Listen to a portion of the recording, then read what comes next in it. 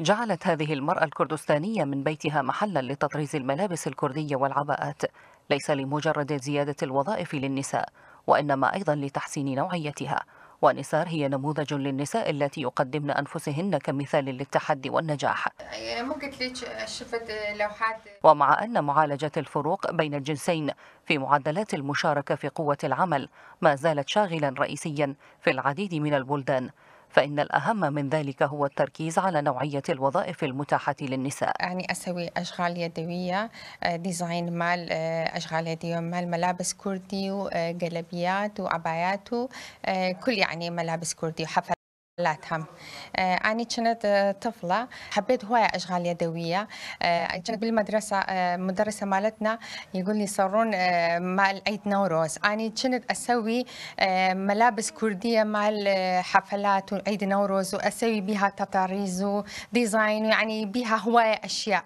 كنت طفلة أحب أشغال يدوية وديزاين مال ملابس كردية. أغلب النساء اليوم أصبحن يجدن الأعمال والخياطة اليدوية مرغوبة أكثر من الملابس الجاهزة التي تباع في الأسواق.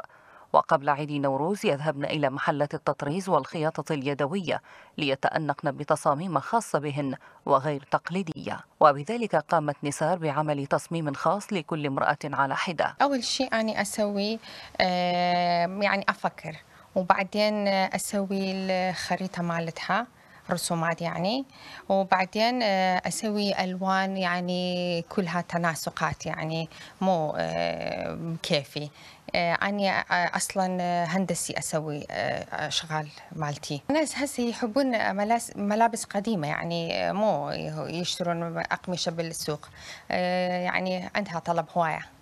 يعني تقريبا هاي السنوات عندهم يعني ناس يقولون أحب نحب هيجي ملابس أشغال يدوية أحلى من نشتري بالسوق أقمشة. إتاحة وظائف جيدة تتسم بأنها آمنة ومنتجة أمر بغاية الأهمية من منظور المساواة بين الجنسين في المجتمع.